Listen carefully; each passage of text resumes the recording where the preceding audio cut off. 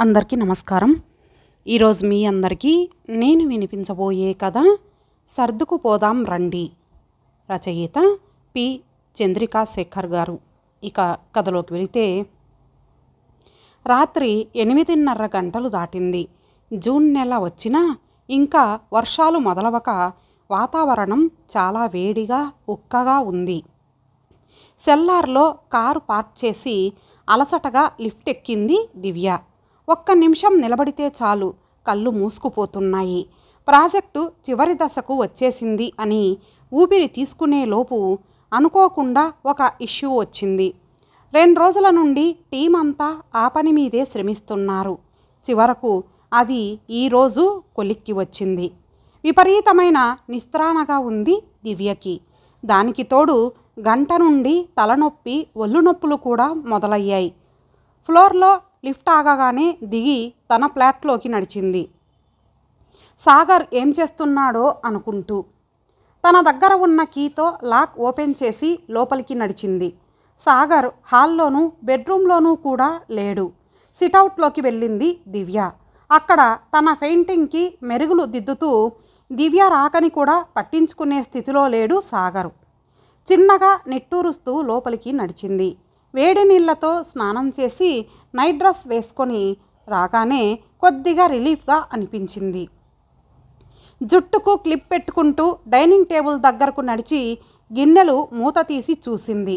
పొద్దున చేసి పెట్టిన ఐటమ్స్ అన్నీ అలానే ఉన్నాయి. కూరలన్నీ ఓవెన్లో వేడి చేసి రైస్ కుక్కర్ మళ్ళీ స్విచ్ ఆన్ చేసింది. సాగర్ లంచ్ కూడా చెయ్యలేదంటే ఉసూర్మనిపించింది. అన్నీ టేబుల్ పైన సర్ది మళ్ళీ సాగర్ దగ్గరకు వెళ్ళింది దివ్య. ఇంకా అదే భంగిమలో ఉన్నాడతను.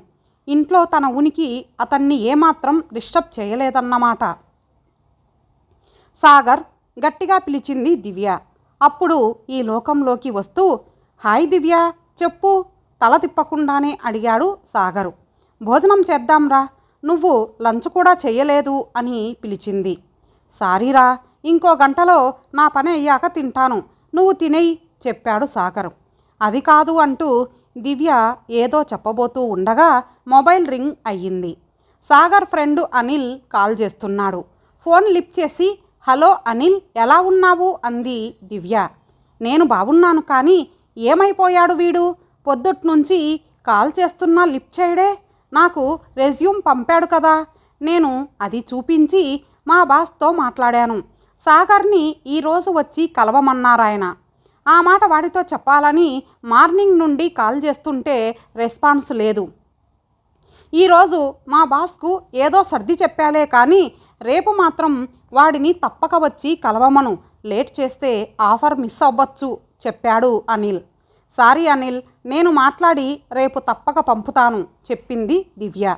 Okay bye good night call cut చేశాడు అనిల్. ఒక్కసారిగా కోపం ఉక్రోషం ఉవ్వెత్తున ఎగిసిపడ్డాయి దివ్యలో. విసురుగా సాగర్ దగ్గరకు వెళ్ళింది. సాగర్ ఒక్కసారి ఇటు చూడు నీతో అర్జెంటుగా మాట్లాడాలి విసురుగా అంది దివ్య. కాసేపు ఆగు దివ్య తర్వాత మాట్లాడదువు కానీ సీరియస్గా చెప్పాడు సాగర్. అంతే ఆగ్రహం కట్టలు తెంచుకుంది దివ్యలో. తనేం చేస్తోందో తెలియని ఆవేశంలో అక్కడున్న కలర్స్ ప్లేట్ని ఎత్తి నేలకేసి కొట్టింది. మొత్తం రంగులన్నీ అక్కడ చిందడమే కాక కొన్ని రంగులు సాగర్ వేస్తున్న పెయింటింగ్ పైన చిమ్మినట్లుగా పడ్డాయి. నిమిషంలో ఆ అందమైన బొమ్మ కాస్త రంగులతో వికృతంగా మారిపోయింది. నిశ్చేష్టుడయ్యాడు సాగరు. జరిగింది అర్థమయ్యేసరికి అతనిలో కోపం కట్టలు తెంచుకుంది.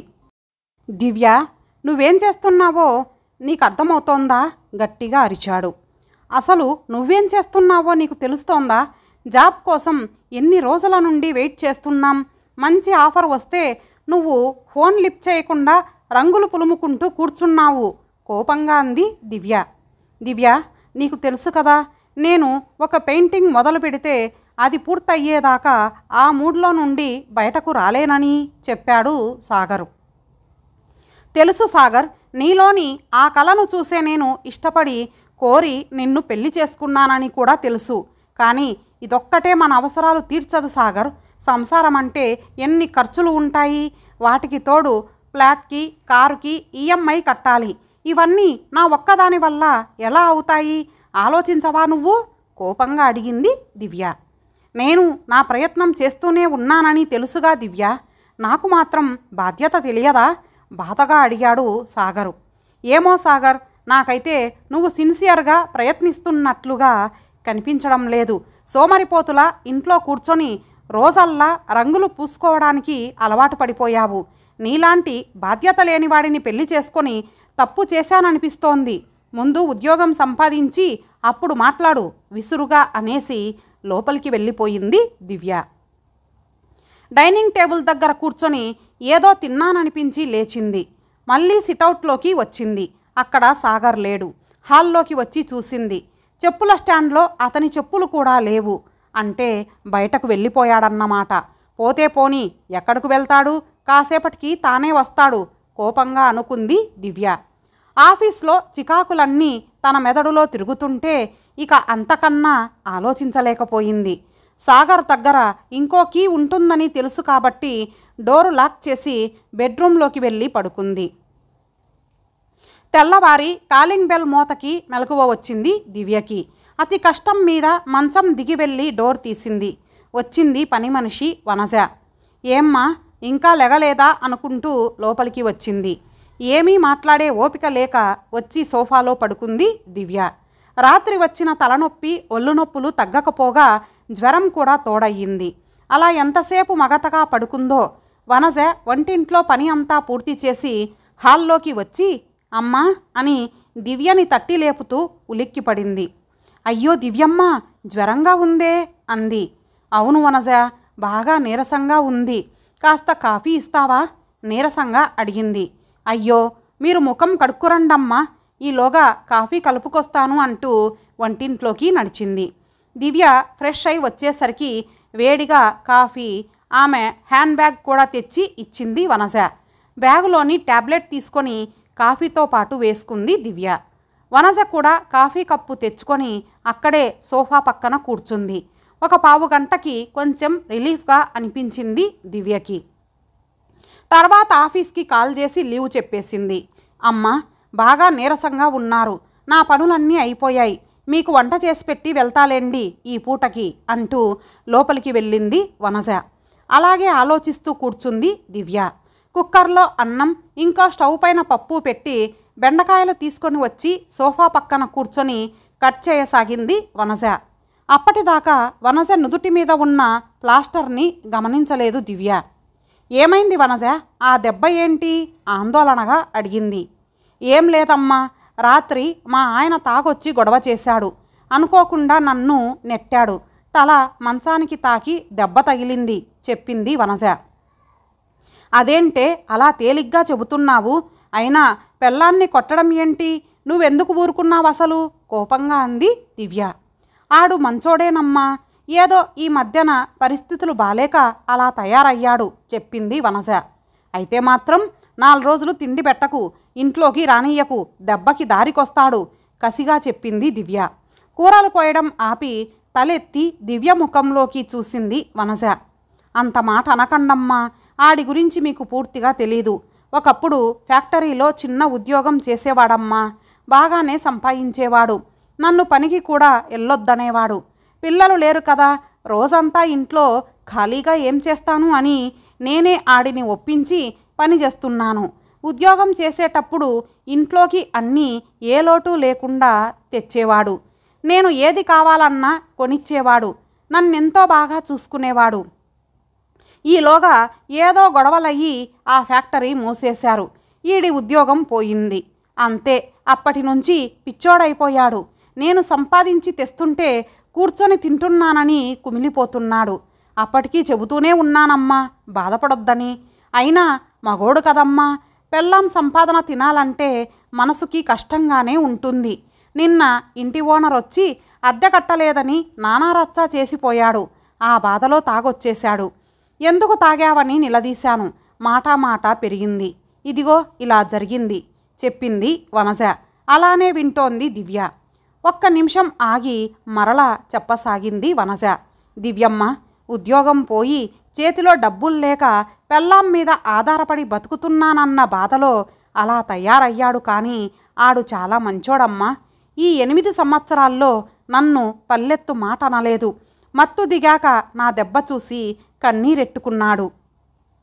డాక్టర్ దగ్గరకు తీసుకెళ్ళి మందులు ఇప్పించాడు ఆడి బాధను అర్థం చేసుకోకుండా నేను కూడా అన్ని సతాయిస్తే ఆడేమైపోవాలి? మొగుడనేవాడు సుఖంలోనే కాదు కష్టంలోనూ మొగుడే కదమ్మా. కష్టసుఖాలు ఒకరికొకరు పంచుకోకుంటే ఎలా? అన్ని రోజులు ఒకేలా ఉండవు కదమ్మా. మళ్ళీ ఆడికి మంచి రోజులు వస్తాయనే ఆశతోనే ఉన్నానమ్మా అని తరిగిన బెండకాయలు తీసుకొని లోపలికి వెళ్ళిపోయింది వనజ. చెంప మీద చెల్లున ఎవరో చరిచినట్లయింది దివ్యకి. అప్పటికే ట్యాబ్లెట్ కూడా పనిచేసిందేమో తలనొప్పి తగ్గి ఒళ్ళంతా చెమటలు పట్టాయి. కొంచెం నీరసం నిన్నటి మగతా తగ్గి మెదడు కూడా చురుగ్గా పనిచేయడం మొదలుపెట్టింది. అవును రాత్రి ఏం జరిగింది? తను సాగర్ పట్ల ఎందుకని అంత దురుసుగా ప్రవర్తించింది? వనజ చెప్పేవన్నీ తన విషయంలో కూడా నిజమేగా? సాగరు జాబ్లో ఉన్నప్పుడు ఇంటి ఖర్చులన్నీ తనే చూసుకునేవాడు. ఇంట్లోకి ఏది లోటు చేసేవాడు కాదు. అప్పట్లో తనకన్నా అతనికే ఎక్కువ జీతం. తను ఏదో చిన్న చిన్న ఖర్చులకు వాడి మిగతాదంతా తన సేవింగ్స్లో దాచుకునేది. ఏ రోజు నీ జీతం ఎంత? ఏం చేస్తున్నావు? అని అడగలేదు. ఆర్థిక మాంద్యం కారణంగా కంపెనీలోంచి హై శాలరీ ఉన్న వారందరినీ తీసేశారు. అందులో సాగర్ కూడా ఒకడు. ఆ డిప్రెషన్లోంచి బయటపడటానికి తనకిష్టమైన పెయింటింగ్ని ఎంచుకున్నాడు. చిన్నా చితక కంపెనీ ఇంటర్వ్యూలకు అటెండ్ అయ్యాడు కానీ అతనికి నచ్చలేదు. తనకున్న కెపాసిటీకి ఎక్స్పీరియన్స్కి ఇంకా మంచి కంపెనీలో వస్తుందని తన నమ్మకం. అదే ధైర్యంతో వేచి చూస్తున్నాడు. కానీ మరి తను తనేం చేసింది? ఇటువంటి సమయంలో అతనికి అండగా ఉండి ధైర్యం చెప్పాల్సింది పోయి అవమానించింది. అసలు తాను సాగర్ని ప్రేమించిందే అతనిలోని ఆ చిత్రకళని చూసి. తాను ఒక అనాథ అని తెలిసి వాళ్ళ ఇంట్లో పెళ్ళికి ఒప్పుకోకుంటే అందరినీ కాదని బయటకు వచ్చేసి తనను పెళ్ళి చేసుకున్నాడు. అలాంటి మనిషితో తాను ఎంత అమానుషంగా ప్రవర్తించింది ఎంత మూర్ఖంగా మాట్లాడింది చి చదువులేని వనజకు ఉన్నపాటి జ్ఞానం తనకు లేదు. ఎక్కడున్నాడో ఏమో అప్రయత్నంగా మొబైల్ చేతిలోకి తీసుకుంది. ఫోన్ సైలెంట్లో పెట్టినట్లుంది రాత్రి చిరాకులో. సాగర్వి మూడు మిస్డ్ కాళ్ళు ఉన్నాయి. వెంటనే కాల్ చేసింది. రెండో రింగుకే లిఫ్ట్ చేశాడు సాగరు. హలో దివ్య ఫోన్ తీయకపోతే నా మీద కోపం తగ్గలేదనుకున్నా. సారీరా రాత్రి పాపం నువ్వు వర్క్ టెన్షన్లో ఉండి ఎంత అలసిపోయి వచ్చావో నీ చిరాకుని అర్థం చేసుకోకుండా నిన్ను బాధ పెట్టాను నేను చేసింది తప్పే. ఇప్పుడే అనిల్తో వాళ్ళ ఆఫీస్కి వెళ్తున్నాను. రాత్రి వాడి దగ్గరే ఉన్నాను. పొద్దున లేస్తూనే రాత్రంతా నేను ఇంటికి రాలేదని నువ్వు ఎంత కంగారు పడ్డావో అనిపించి కాల్ చేశాను. ఇంకా ఏదో చెబుతున్న సాగర్ మాటలకు అడ్డుపడుతూ సాగర్ రాత్రి భోజనం చేశావా? Thank God. నువ్వు సేఫ్గానే ఉన్నావు కదూ? ఇంటర్వ్యూ అవన్నీ తర్వాత చూసుకుందాం కానీ ముందు నువ్వు త్వరగా ఇంటికి రా. నేను లీవ్ పెట్టి ఇంట్లోనే ఉన్నాను. చిన్న చితక ఉద్యోగాలు తక్కువ జీతంతో నీకు నచ్చని చోట రాజీ పడి పని చేయవలసిన అవసరం లేదు. నా సేవింగ్స్ ఉన్నాయిగా? ప్రస్తుతానికి కొన్నాళ్ళ వరకు మనకు ఎలాంటి ఇబ్బంది లేదు. నీ అర్హతకి తగిన జాబు దొరికినప్పుడే చేద్దువు కానీ నేనే నా ప్రవర్తనకి నీకు సారీ చెప్పాలి. ప్లీజ్ వెంటనే ఇంటికి రా సాగర్ అర్థింపుగా చెప్పింది దివ్య. ఏమైంది దివ్య? లీవ్ ఎందుకు పెట్టావు? ఒంట్లో బాగోలేదా? నేను అసలు నీకు రాత్రే కాల్ చేయాల్సింది పొరపాటు చేశాను. సరే ఇప్పుడే బయలుదేరుతున్నా అంటూ కాల్ కట్ చేశాడు సాగరు. అమ్మగారు వంట పూర్తయింది. నేను వెళ్ళొస్తా అంటూ వచ్చింది వనజ. అప్రయత్నంగా వనజ రెండు చేతులు పట్టుకొని థ్యాంక్స్ వనజ అంది దివ్య. చిత్రంగా చూస్తూ బయటకు నడిచింది వనజ. ఆమెను పంపి తలుపు వేసి హుషారుగా లోపలకు నడిచింది దివ్య. మబ్బులు వెలిసిన ఆకాశంలా ప్రశాంతంగా నిర్మలంగా ఉంది ఇప్పుడు ఆమె మనసు. సాగర్ వచ్చేలోపు స్నానం చేసి అతనికి ఇష్టమైన డ్రెస్ వేసుకొని రెడీ అవ్వాలి. ఈరోజు తన చేతులతో అతనికి స్వయంగా భోజనం వడ్డించాలి. అవును మరి ఇద్దరూ సర్దుకుపోతూ ఉంటేనే కదా? అది అసలైన దాంపత్యం. బీరువాలోంచి రోజా మొగ్గలున్న తెల్లని చీర తీసి మంచం మీద పెట్టి చిరునవ్వుతో బాత్రూం వైపు నడిచింది దివ్య. ఇంతటితో ఈ కథ సమాప్తం. మరలా మరొక మంచి కథతో కలుద్దాం. అంతవరకు సెలవు. నమస్తే.